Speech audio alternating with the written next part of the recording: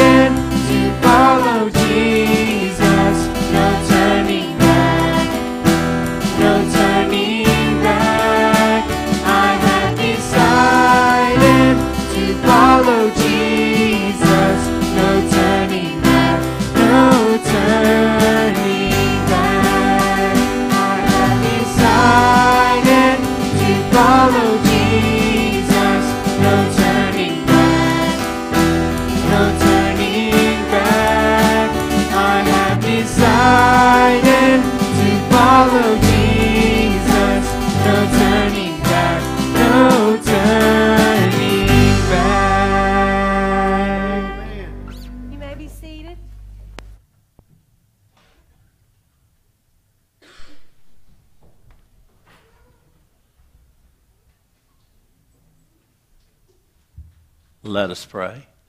Heavenly Father, we are indeed thankful to be here today. We ask your blessings be on this service, and Christ is enough, enough for us. Lord, we just thankful that we center everything around you in your Son, Jesus Christ, and that we take this time and we close everything out from this world. Now watch over us, guide us, and direct us, and whatever is said and done here will be pleasing to you. In Jesus' name we pray. Amen. We want to welcome you. If you're visiting, we especially want to welcome you. And hope and pray this won't be the last time that you're here with us if you're visiting. Five members in a few minutes, let's let our folks know that you are glad that they are here. There's several announcements we do want to make. We'll remind you about the Annie Armstrong Easter offering. And our goal is $4,500. We'll be receiving that through the month, this month, and also through Easter Sunday. Also, the drop drop for the backpack buddies is in the hall, so please note that as well.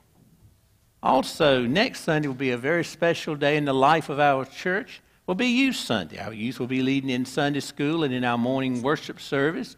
And so come and be a part of it. Immediately following that will be a fundraiser luncheon for their trip up into the, uh, into the Ark. And so please be in there. It'll be a barbecue dinner. And so be in prayer for that. A big day next coming next Sunday. So be in prayer for that. Also, you have an insert in your bulletin. And uh, as I said, my problem with this is just too many choices here. It says adult fund for fundraiser for building fund. Please order your Easter or Mother's Day cake. Remember, the adult full class cakes are $30 each. Thank you. It's about 12 choices. And name, phone number, and date cake is needed plus the, the money too, I'm sure. Uh, but uh, do take care of this. And as I said, if you're worrying about what to have for dessert on Easter Mother's Day, you don't have to worry anymore. Main thing, just uh, fill out and do a choice on that. And that's going to be a wonderful thing. Also, we have beautiful flowers. They're given in memory of Brenda Wrench, Gary Carroll, and Mary Emma Carroll on their birthday, which is March the 28th, given by Leslie, Chris, Joy, and Griffin Wrench. And we rejoice in the beauty of these flowers and the memory of these precious loved ones. I do want to mention that the Robert Rich visitation, Angela Lockham, father, will be tomorrow night, 6 to 8 at the McClure Funeral Home in Graham. And so be in prayer for that. And be in prayer. We're thinking about you, Angel, during this time when we continue to think about you.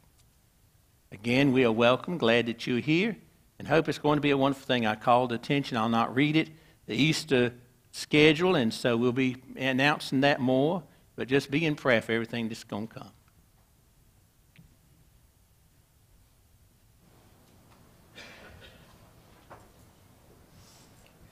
We take our refuge in the everlasting arms of Jesus. Hymn number 333, standing please.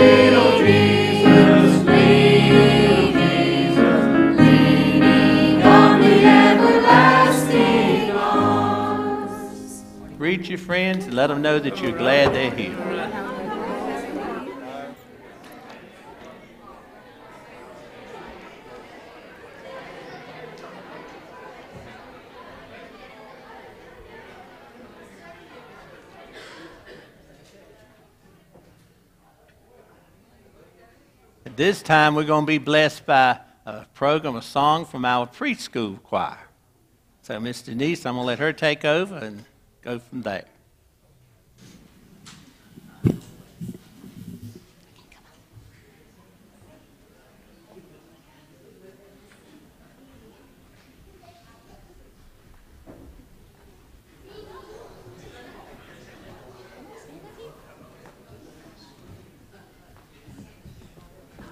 Come stand right here. All right, okay, stand right there. Red, Stand right here. To stand beside the microphone? Okay, you stand beside the microphone. Okay, stand beside. Stand right there. Good. Come on, Peggy, stand right up here beside Red. Oh, you step right there. All right, get right there.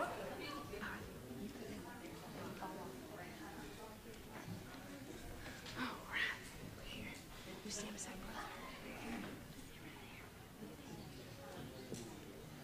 go in the front.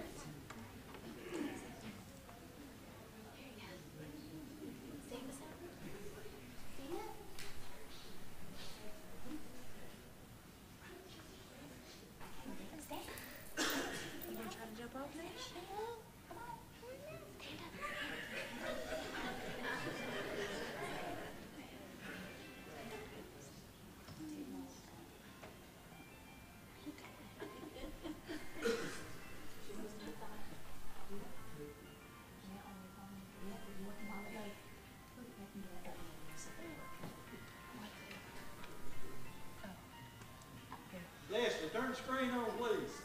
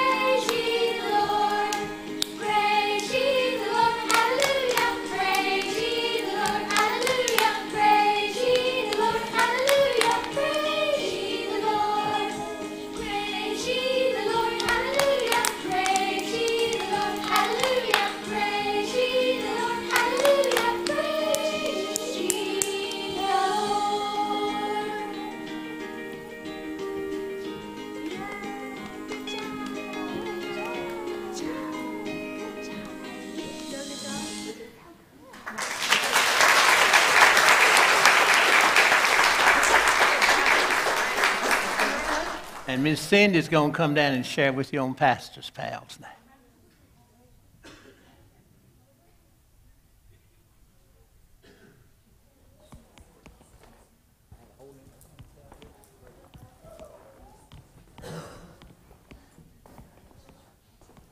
Come on, we got something in my basket this morning. I'm, you know what Courtney said this morning? She said, Mama, why'd you get my basket? I said, Well, it was there and I wanted to use it, so I got it.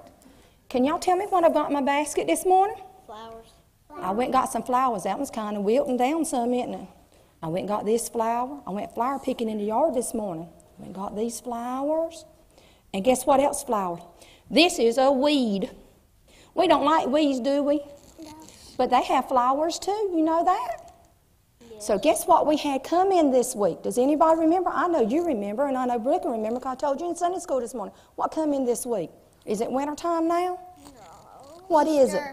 No. What kind of is it? Spring. It's springtime. And when we had springtime, and here's another flower, here's a dogwood. When we had springtime, we had pretty flowers. Who gives us these flowers? I don't know. No, Santa don't give us these flowers. Jesus gives us these flowers. Come on, Sooty, come on. Jesus gives us these flowers. He's the one that helps us get these flowers and all. And he helps us grow these flowers and all and make them pretty in our yard. And he makes a seeds so we can grow more. That's right. He makes seeds so we can grow more. Okay, let's have our prayer this morning, okay? And thank Him for our flowers. Jesus, thank you for our flowers that you've given us this morning in our yards and all that's growing pretty. And thank you for our flowers on the altar this morning. And dear Lord, be with Mr. Strickland as he gives us our message this morning. In Christ's name we pray every morning. Amen.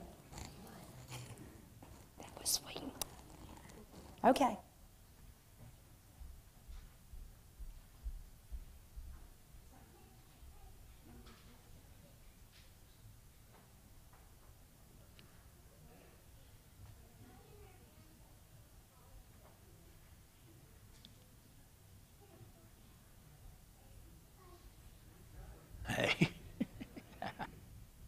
Okay, Josh.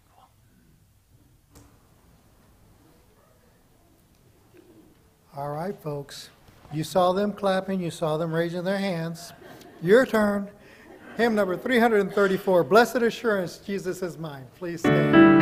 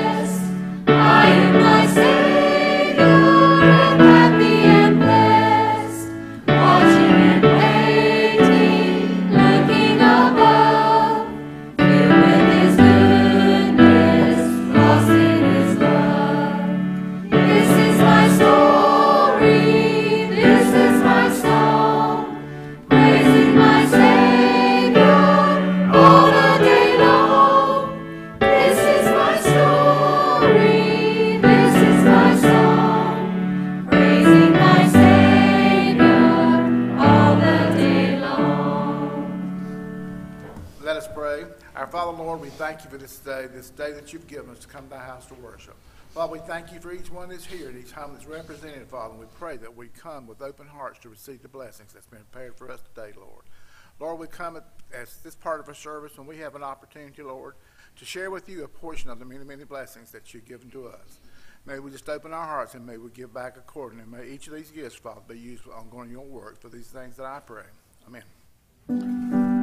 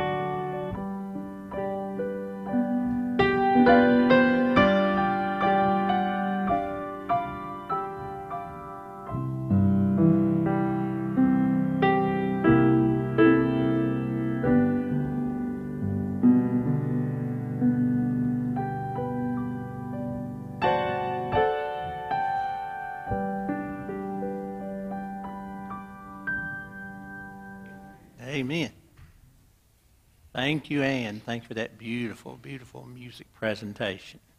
At this time, Jackson Royal's going to come and have our scripture and prayer.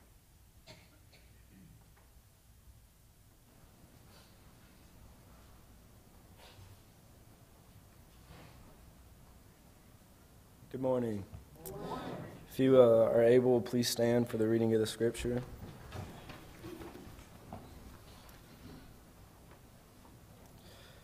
You see, at just the right time, when we were still powerless, Christ died for the ungodly. Very rarely will anyone die for a righteous person, though for a good person, someone might possibly dare to die. But God demonstrates his own love for us in this while we were still sinners, Christ died for us. Since we have now been justified by his blood, how much more shall we be saved from God's wrath through him? Thank you. God richly bless the reading and the hearing of the word. At this time, we want to go to the Lord in prayer. Are there those that you would like to mention? Be sure to check our prayer list in the bulletin. Are there others that you would like to mention? J.W. Tyndall. Others? Shannon Austin. Others? Brenda McLam. Others? Ronald Godwin. Others? Gary Ballard family.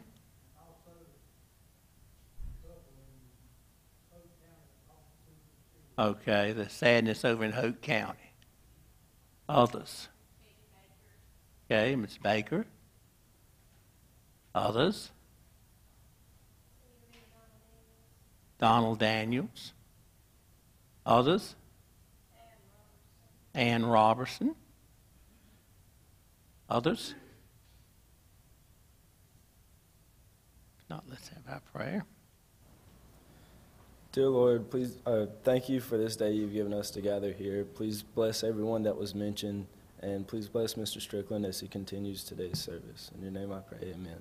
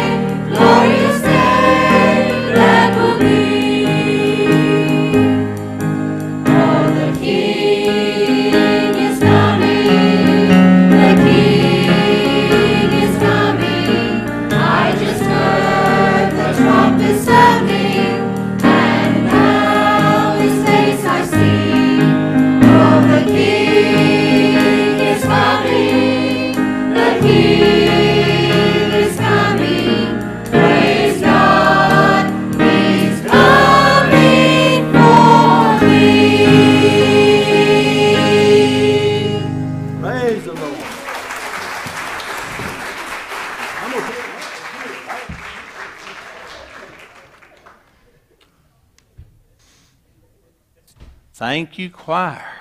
Thank you, Miss Ann. That's right. As the old preacher said in Williamston many years ago, Mr. Ronnie said, said, if you didn't like that, your wood was wet. It didn't light your fire. Thank you, thank you, thank you. That's been a wonderful thing. That's been one of my favorites and also one of my mother's. And we shared that with her the night she passed, day she passed away in the wee hours of the morning. So it had a very, very special meaning to me and to Cheryl and others, and so, and it does to you as well. What a day that will be when my Jesus I shall see. What a day, wonderful day that will be. Amen and amen. Thank you for sharing that. You know, everything we have goes into planning. Right now, we're doing a fundraiser for a building. We're also doing some plans for a new building and expansion. And everything you do, you plan out everything. You plan what you're going to have for lunch, for supper. Miss Cheryl accuses me as soon as I finish lunch, I say, What are we going to have for supper? I already, I'm already planning. Th- you know, you got to think ahead on things like that.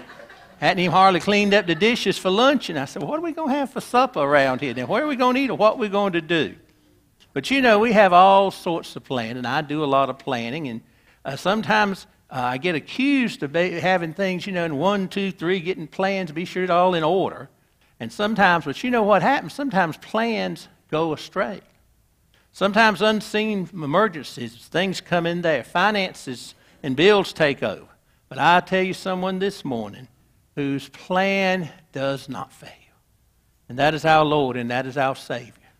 You know, in a few weeks we're going to be looking at the time of the resurrection, the time of the crucifixion, and the triumphal entry of Jesus into Jerusalem.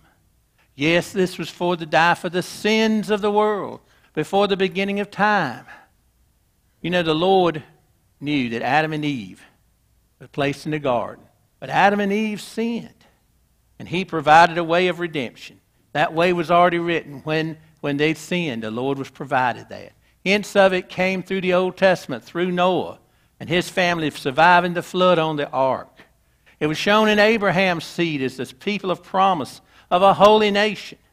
Also, it was deliverance of the children of Israel through the Red Sea from the threat of Pharaoh's army. And yes, also the prophets when they did this. And they directed this that it would be a man of sorrow, acquainted with grief, and by his stripes are we healed.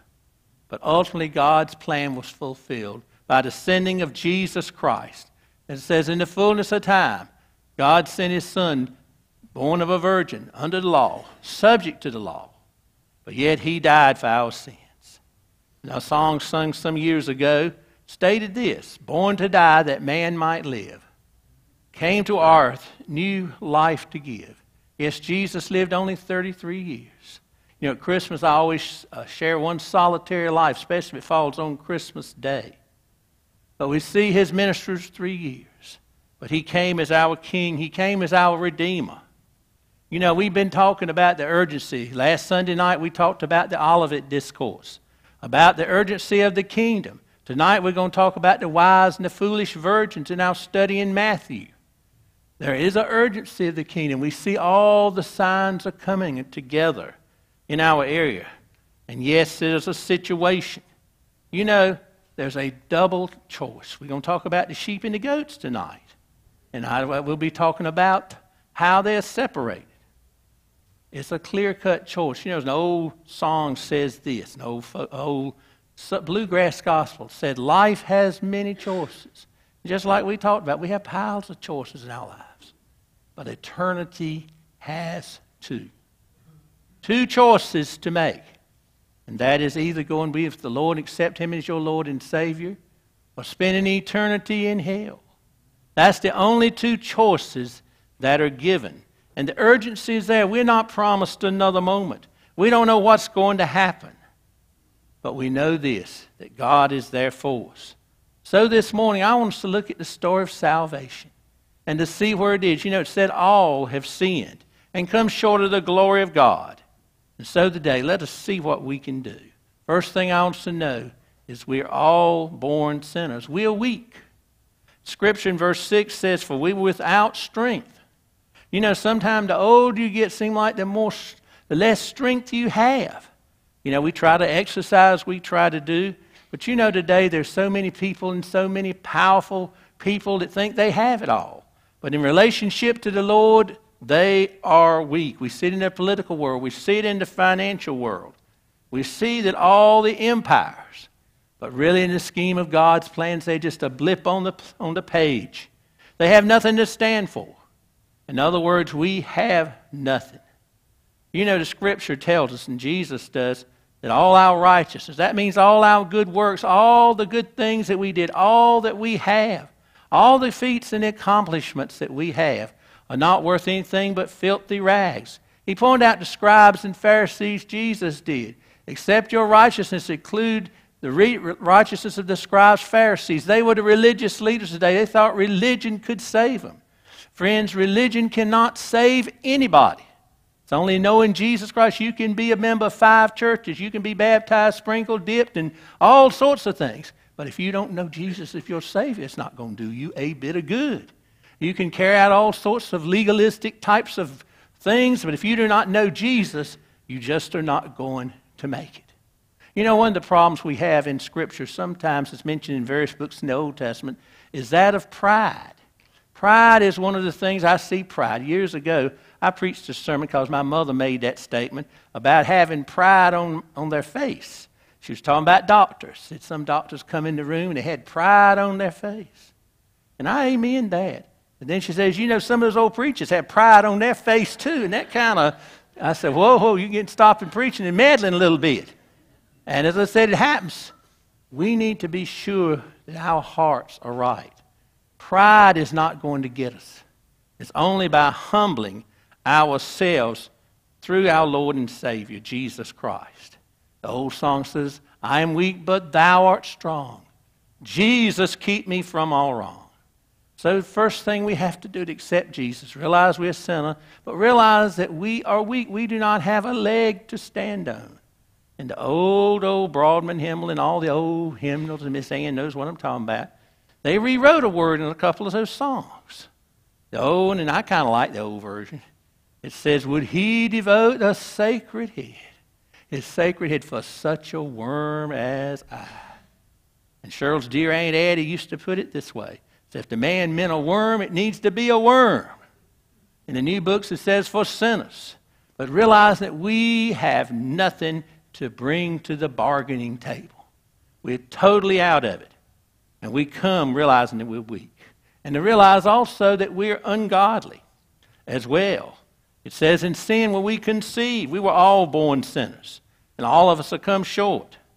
There's no one on this earth that has lived a sinful life but our Lord and Savior, Jesus Christ. We have that sinful nature. In the Old Testament, sin is mentioned as the word iniquities, twistedness. That means the pervertedness of sin.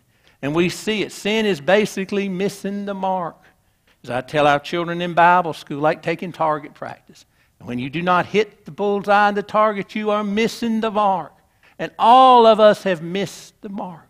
We've come short of what God wants us to be.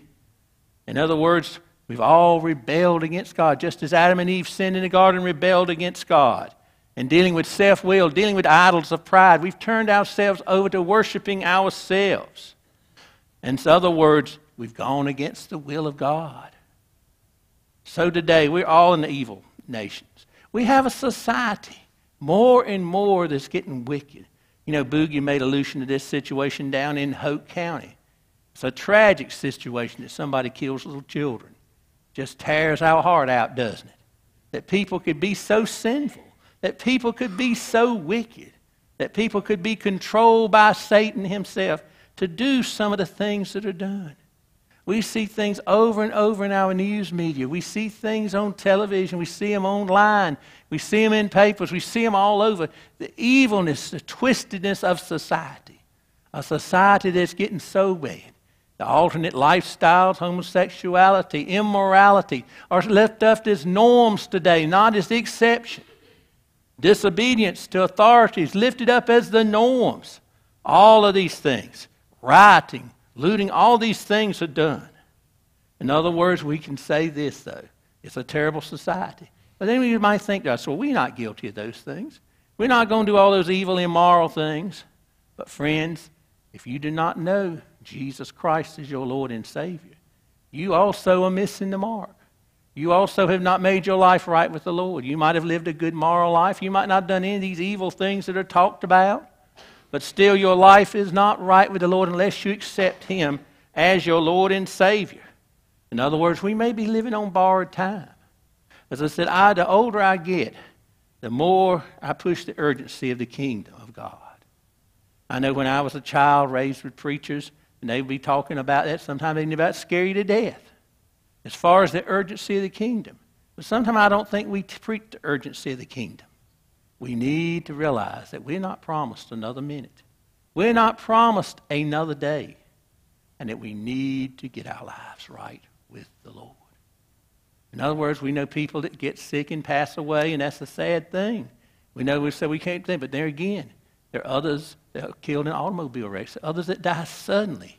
We're not promised another day. Until the Lord comes back, we're not promised. So, friends, today, before it's too late, accept. In other words, we don't have to live in a life of sin. We don't have to live in a life of evil. But we need to realize that we need some help. We cannot earn our salvation. As I said many times, good works won't do it. Our family won't do it. Our friends won't do it. People say, well, my mother was a saint. She may have been a wonderful, saintly person, but that cannot save you. Going to church can't save you unless you know Jesus Christ. The only way is to trust Him. That old song says, only trust Him. Only trust Him. Only trust Him now. He will save you. He will save you now. So we've got to realize that we're sinners. But secondly, we've got to realize that God loved us. You know, in spite of this sinful state, He loved us enough to send Jesus. An old song says, Why should he love me so? Why should my Savior to Calvary go? Why should he love me so? You know, one of the scriptures that we quote, and still one of the best scriptures. For God so loved the world that he gave his only begotten Son, that whosoever believeth in him should not perish, but have everlasting life. God is a righteous God. He expects payment for sin. So he said the blood atonement he expects. But he is a loving God that he sent someone to die in our place. In other words, the wages of sin is death. He planned for our redemption. His plan was perfect. You know, Paul preached a lot about reconciliation. We pray you in Christ's stead, be reconciled to God. God was separated. You know, I think about Lazarus and the rich man. It said this that the rich man begged Lazarus to send, send somebody, water down to them and send, send, uh, send someone down to quick uh, his tongue. But Father Abraham said there is a big divide between you and us, a divide that cannot be crossed. That was a divide, that was a separation between God and man. And it was only through Jesus Christ that it could return. And Jesus made that return possible. And so, what we need to do is follow Him. Yes, He sent Jesus Christ in the fullness of time to die for us. In other words, the Old Testament, as we have said before and before, they had the lamb sacrifice. But it had to be done over and over again. But when Jesus Christ came, He came once and He came often to be our Savior. Didn't have to be done again, once and for all. Jesus redeemed us. Amen and amen. You know, I think about the sacrificial lamb. You know, uh, Paul in 1 Corinthians talking about Christ being our sacrifice. Just think back to the time of the Hebrews. They'd been under bondage for so many years, and the plagues had been done, and the Pharaoh would say, You can go. And then at the last minute, he changed his mind. The Lord told Moses, Get the people ready. This time you will leave. But what I want you to do is to prepare a meal, but also to kill a lamb, a spotless lamb, a lamb without blemish, and take the blood and sprinkle it across the post of the door. And wherever the post of the door, the lamb was sprinkled. Then, when the death angel came to claim the, uh, Egyptians from the top of the Pharaoh's house to the bottom, down to the servants, he will pass over the houses with the blood. Our Baptist men used to sing that old song Christ our Redeemer died on the cross, died for the sinner, paid all his dues. And then it says, When I see the blood, I will pass, I will pass over you. So when the Lord sent the death angel, he passed over. But the same happened in our heart. When Jesus Christ died on the cross, his blood was shed, and we accepted him. We accepted in the power of the blood. So many churches, so many groups now want to play down the emphasis of the blood of Christ, the necessity of the blood. But yet, Jesus Christ died and shed that blood. When we have our Lord's Supper, I say, without the shedding of blood, there is no remission, there's no repayment of sin. So he became our Passover. Yes, he did. His blood is on our hearts. Yes, he endured the agony of the cross, that we die, he died for our sins. You know, he, God loved us so much that he sent his best for us to die, for, to die in our place. It says, But God commendeth his love toward us. While we were yet sinners, Christ died for us. Yes, he died. So today again, I plead with you to accept Jesus Christ as your Lord and Savior and to realize that he died for you. As a song our gospel groups do says, When he was on the cross, I was on his mind. He knew me, yet he loved me. Friends, today, don't delay. You may never have that opportunity. You know, Jesus was able to forgive from an old rugged cross those that mistreated him, those that abused him. And so today, he knows us as well. Accept him. But then finally, we are justified again by the blood of Jesus Christ. The remission of sin, the spotless blood that was shed. You know, the word justification means this just as if I had not sinned.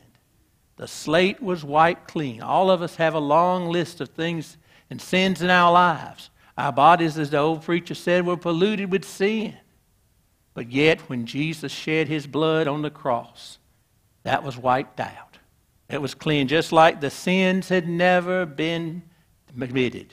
The old song, the scripture says, just as the east is from the west, so have the sins been forgiven.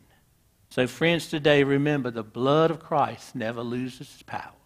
It reaches to the highest mountain, it goes to the lowest valleys. The blood that gives me strength from day to day will never lose its power. I like to sing that song, There's Power, There's Power. Wonder working power in the name of the blood of the Lamb. Amen and amen. So today, let us consider that. But also to know that we were saved from wrath. We were saved from hell. Today there will be a judgment day. As I said tonight, we're going to talk about the sheep and the goats. That's an interesting thing to talk about, among some other things. You know, we're going to talk about livestock, the sheep and the goats. It says there will be a separation day, there will be a judgment day. And those that know Jesus Christ will enter into glory. But those that don't will spend an eternity in hell. Hell is more than a state of mind, hell is more than just a separation. Hell is a real place. It's a place of torment. It's a place of punishment. It's a place that lasts eternity. It says in Scripture, it's the second death. But a death in hell is a continuous death that you continue to die, it's a conscious death. In other words, I've heard people say, Well, I don't care where I go. I said, There's going to be some of my friends down there wherever I am. If I go to heaven, there'll be folks I know. If I go to hell, there'll be folks I know there. Friends, hell's not going to be a party. Hell's not going to be a happy time.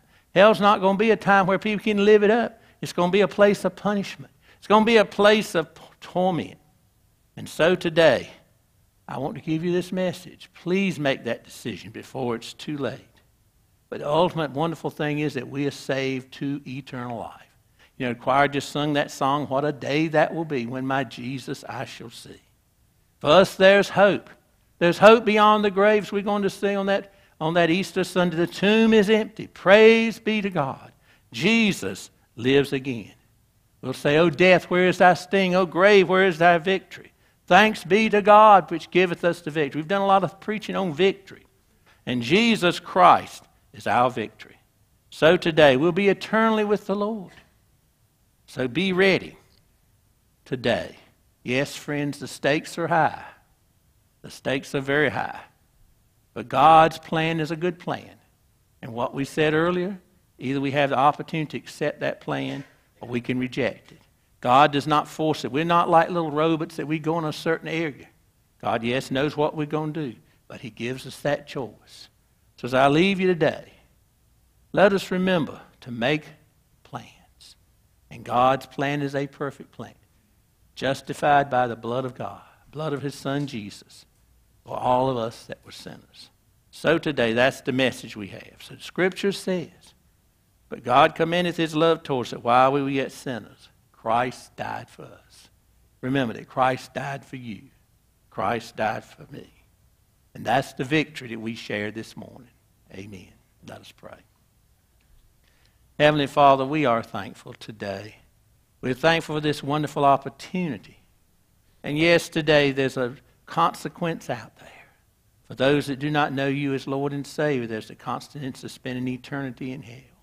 Lord, if there be any person here that does not know Jesus Christ as their Lord and Savior, my prayer is that this will be the hour decision, that they will make this before it's too late. We're not promised another hour. We're not promised another day. But Lord, touch those that need to have this through the power of your Holy Spirit to make a commitment of profession of faith. There may be others out there that need to make decisions as well. Lord, we just ask that you use this invitation period. Watch over it, and we use it for your honor and your power and your glory. In Jesus' name we pray. Amen. Song is Jesus is tenderly calling. He's calling you to come.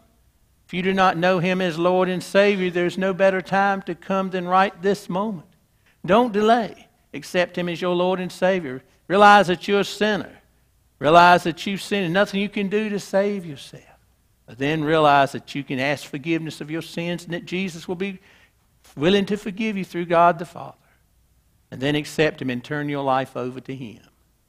Maybe there are those here that members of another church can serve better here at the Mingo Baptist Church. We'd certainly love to have you. We welcome you with open arms. Or maybe this message spoke to you. Brother Josh, our hymn number. 316, Jesus is tenderly calling. Please stand.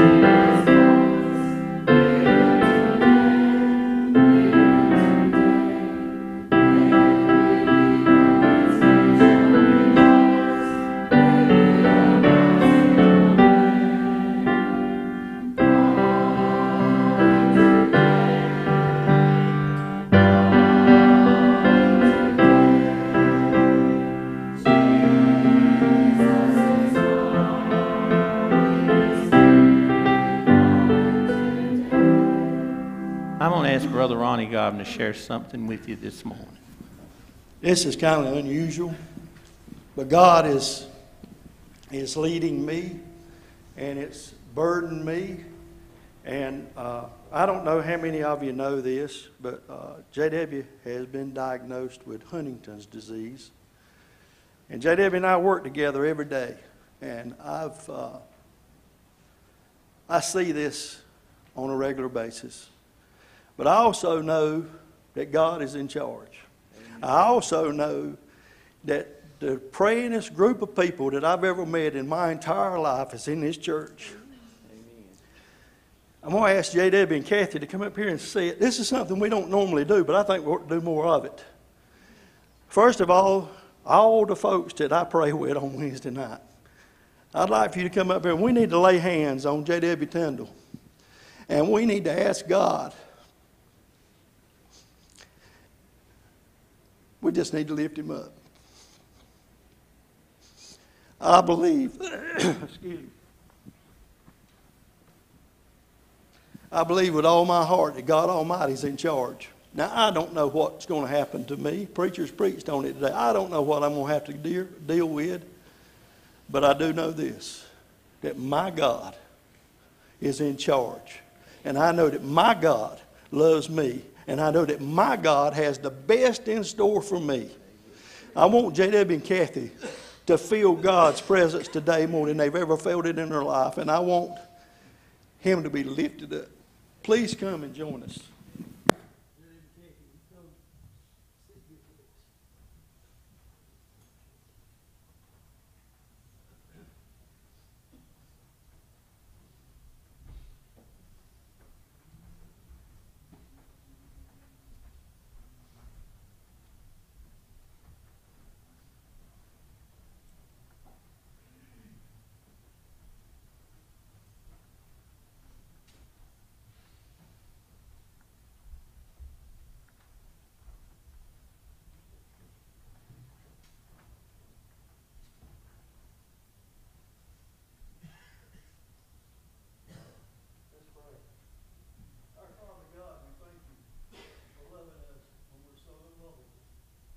Sending your son, Jesus Christ, to die on a cruel cross, to pay a price for sin that we couldn't pay ourselves. God, today we come together as we go back to church. We're here, we're lifting up our brother, Ted Everton. God, we know that you hear our prayers. And you said if we're two or more gathered in your name, and God, we're here. We're bowed and we're lifting him up to you. Father, we don't know what's in store, but we pray, God, that your blessings will flow on this family. That you'll fill their hearts with your Holy Spirit. That whatever's coming their way, God, that you let them know that you are in charge. Help them, Lord. Help them understand why they go through, why we all go through what we go through. Let them feel your power. Let them feel your peace that passes all understanding. God, we pray that you could make his life fuller, that you could make Kathy's life fuller. Let them see Jesus and let them become more like Jesus